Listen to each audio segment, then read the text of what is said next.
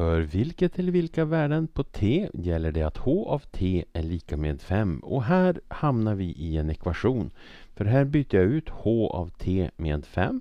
Så här får jag då 5 är lika med 2 stycken t i kvadrat minus 13. Inte minus 13 där, inte lika med 13. Och sen tar jag och adderar 13 på båda sidor. Och 5 adderat med 13 det är 18. Lika med 2 stycken t i kvadrat.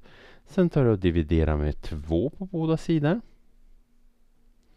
Så då får jag att 9 är lika med t i kvadrat. Så eh, sen tar jag kvadratroten ur och då får jag att t är lika med plus eller minus kvadratroten ur 9 som är 3. Så svar här.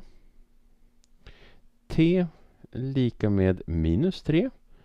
Och eh, T är lika med 3 ger att H av T är lika med 5.